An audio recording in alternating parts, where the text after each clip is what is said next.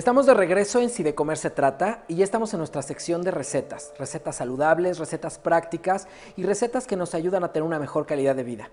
Muchas, de muchas personas tenemos la idea que comer ensaladas, pues obviamente no son ricas que, y no las hacemos frecuentemente, pues obviamente porque pensamos que a nuestra familia no les va a gustar. Es por ello que en esta sección de recetas yo tengo la propuesta de hacer recetas fáciles, prácticas y sobre todo que estoy seguro que les van a gustar a toda tu familia. El día de hoy voy a preparar una receta de una ensalada a base de lechuga, que como ya sabemos la lechuga nos ayuda a dormir bien puesto que es omnífera. Tenemos también manzanas que fueron marinadas en limón y les hemos puesto chile piquín. Tenemos también crutones que son deshidratados, que son cuadritos o trocitos de pan ya secos, que obviamente le dan muchísima textura a nuestra ensalada. Tenemos también amaranto. El amaranto normalmente lo conocemos solamente en las alegrías, que están pegadas con piloncillo, pero también podemos comprar el amaranto a granel. Y este amaranto es un pseudo cereal alto en proteína, que independientemente que le va a dar sabor a nuestro platillo, pues obviamente está aportando un poco más de proteína de origen vegetal.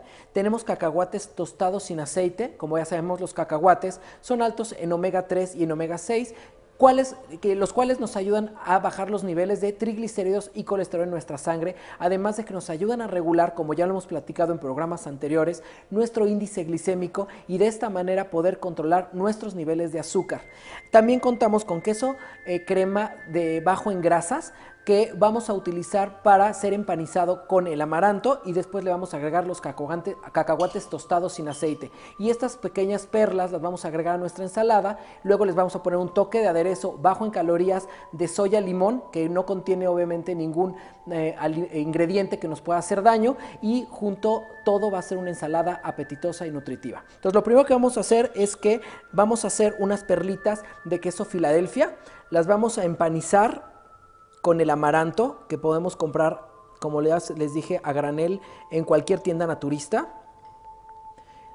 Y después ya que tenemos estas perlitas de queso eh, crema bajo en grasa empanizadas de amaranto, se las vamos a agregar a nuestra ensalada, que obviamente tiene que ser desinfectada. Recuerde, pues obviamente que si no compra una lechuga eh, que venga ya en bolsa, pues es importante ponerle algunas gotas de yodo para que obviamente no tengamos ninguna infección intestinal y cuidemos la salud de nuestra familia.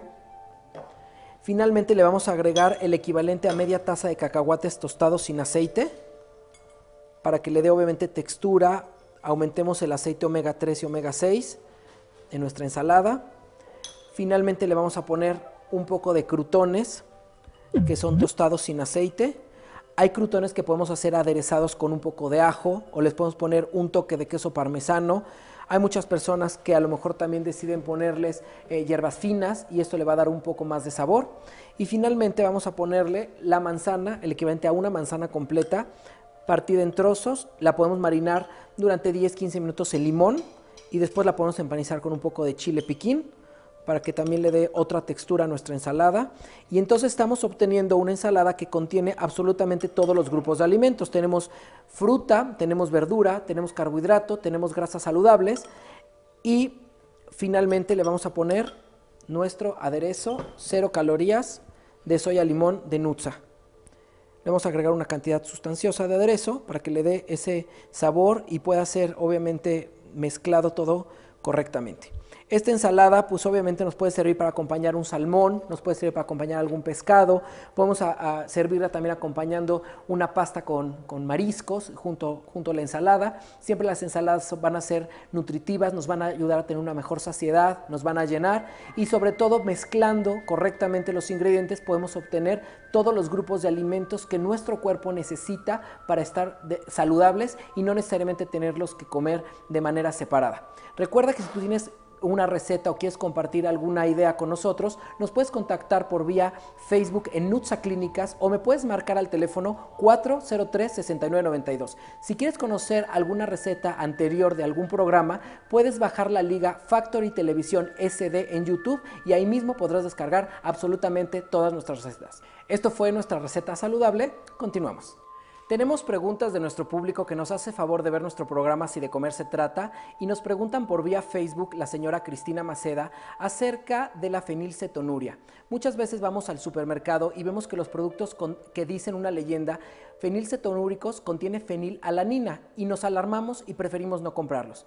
Quiero que sepan que la fenilalanina es un aminoácido que se encuentra normalmente en la carne y absolutamente todas las personas lo debemos de consumir, puesto que hace una función importante en nuestro sistema hormonal y cumple una función en nuestro organismo. Las únicas personas que no pueden consumir fenilalanina son los fenilcetonúricos, que es una enfermedad de nacimiento que consiste en no tener color en el iris del ojo y solamente afecta a los niños recién nacidos. Así que ya lo sabe, si usted quiere no comprar un producto porque tiene fenilalanina, no tiene ningún problema, lo puede consumir y se lo puede dar sin ningún problema a toda su familia. También tenemos una pregunta del público que nos hace llegar por vía Facebook acerca de qué alimentos son los que producen más gases e inflamación en el estómago. Y resulta que los alimentos que producen más gas en el estómago, aunque son saludables para la alimentación, son precisamente las verduras crudas. Es por ello que es recomendable las verduras cocidas, ya sea en guarniciones, en sopas o dentro de los guisados, cuando las personas tengan flatulencias. Esto fue nuestro tip saludable. Estamos finalizando nuestro programa Si de comer se trata. Y el día de hoy nos acompañó Moisés González, quien es experto en fitness y además nos hizo una propuesta acerca de Power Plate, una nueva técnica para tener mejor calidad de vida por medio de una máquina de aceleración. Además nos acompañó en el estudio también María José González, nuestra psicoterapeuta de cabecera, quien nos enseñó a tener límites tanto a nosotros mismos como con nuestro alrededor. Recuerda que si tienes alguna pregunta nos puedes contactar en Nutsa Clínicas por vía Facebook o nos puedes ver en Factory Televisión SD en YouTube. Recuerda, este fue tu programa Si de comer se trata y tú tienes una cita conmigo todos los lunes en punto de las 6.30 de la tarde. Yo, Juan Manuel Romero, soy tu nutriólogo.